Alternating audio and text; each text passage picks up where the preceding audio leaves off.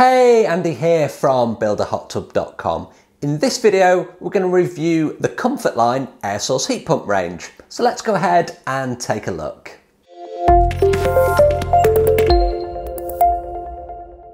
Okay, so there are lots and lots of different models of air source heat pump on the market.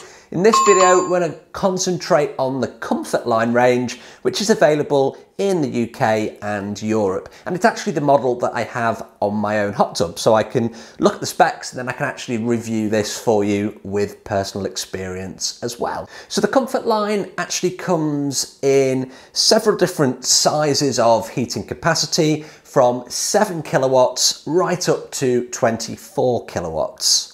The Comfortline models are inverted, so they're able to operate from 20% capacity right up to 100%, and they're intelligent enough to be able to adjust the power needs to give the desired heat output. So it's a bit different from a, a low, a medium, and a high setting, for example.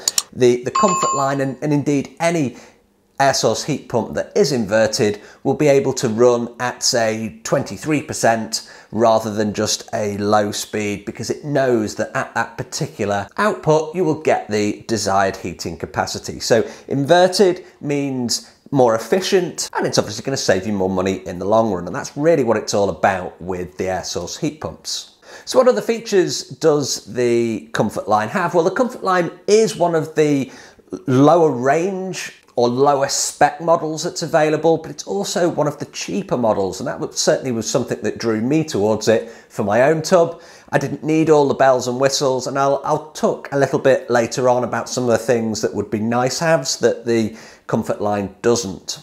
It does have a titanium heat exchanger, which means that it's suitable for salt water as well.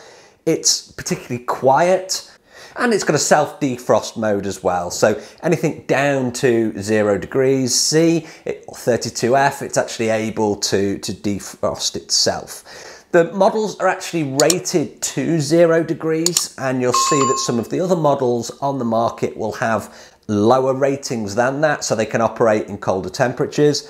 What this means is the comfort line isn't just going to stop working at zero degrees, it means that it can't maintain the efficiencies that the manufacturer is putting out in the specifications at any low temperatures that are below zero or 32 degrees F. That's really what it means. So for me, it wasn't a, a, consideration because it's, it's very rare that we actually get long periods of temperature that is actually below zero degrees where I am.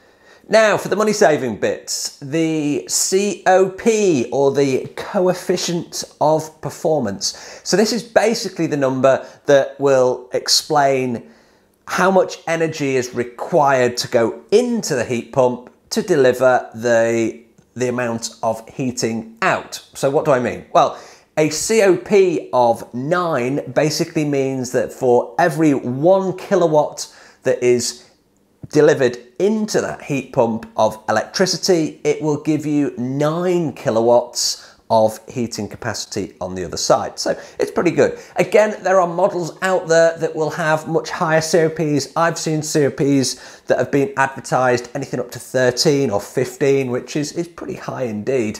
Uh, but this, as I said, is a, a lower range model. It's a cheaper model and it has an advertised COP of 9. And finally, it comes with one and a half inch unions, which for us hot tub owners, that's great because we can just jump straight on one and a half inch pipe. There are a lot of models, certainly over here in Europe, that have uh, 50 millimeter connections, which are the, the regular swimming pool connectors. You just need to convert those. It's not a big deal, but it is quite nice to have a, a native one and a half inch union to be able to get into our hot tub plumbing.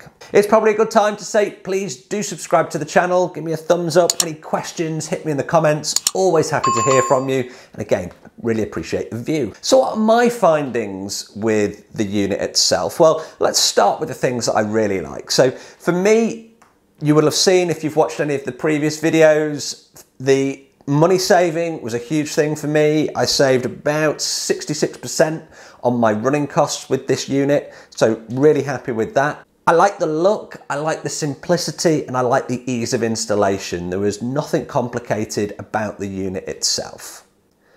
In terms of being quiet, I would say it's actually quieter than the air conditioning unit for my office, which is next to the, the heat pump. So the air conditioning unit is a smaller unit, but it's also much louder than the heat pumps. I also like the simplicity of the controls. There's literally an, an on button, uh, there is an eco mode, uh, but really you're just turning the temperature up and down and I really like that. Things that are simple, things that just work are so much easier in my opinion than big complicated menu systems that you've got to go through to get the setup that you're looking for. All I did on this unit was set the temperature, turn it on and give it some flow. So I turn the circulation pump on and it just works. It's really, really simple and easy to use. When it doesn't have a flow, it gives a flow error and it just waits. It just waits until it receives some more water going through it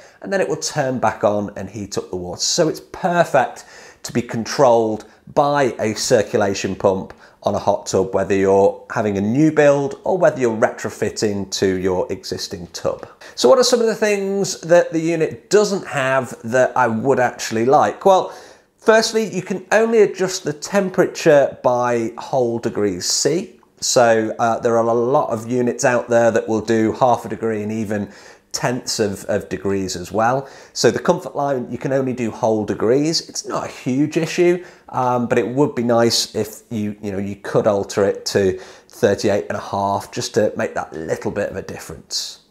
The fact that the unit doesn't have Wi-Fi for some could be an issue. For me, it's not a huge problem. It would be a nice have to be able to, to adjust it down and adjust on my hot tub the temperature down on the on the spa pack as well. So if you've watched the previous videos, I'm using the spa pack to control a circulation pump that then sends water through and that, that then basically turns the heat pump on and off just by flow. And what I found is when my hot tub is doing its cycles, its filtering, it will, if I don't drop the temperature down on the air source heat pump, it will actually raise the temperature of the tub, which obviously costs me money in the running of the, uh, of, of the pump. So being able to control it with Wi-Fi would be a nice have, but again, you're going to be jumping up a, a price point. So with the Comfort line, it's very much a, a I'll call it a budget model, and it, it's definitely at the lower range of the price points. But for the features that you're getting, I think it's really, really good value, and certainly for me, it's uh, it's saved me a whole bunch of money. So Hope you found this review useful. I'll keep it short and sweet. If I can help you with adding a air source to your own hot tub, hit me up in the comments, always happy to help. If you need a Comfort Line air source heat pump, more than happy to supply you one. So please, again, get in touch either via the website, buildahottub.com, or in the comments below, and I can certainly help you with that. As always, I really appreciate the view. Thanks for watching. Hope you found this video useful, and I'll see you on the next video. If you've liked this video, please do like, share and subscribe to the channel. I'll see you on the next video.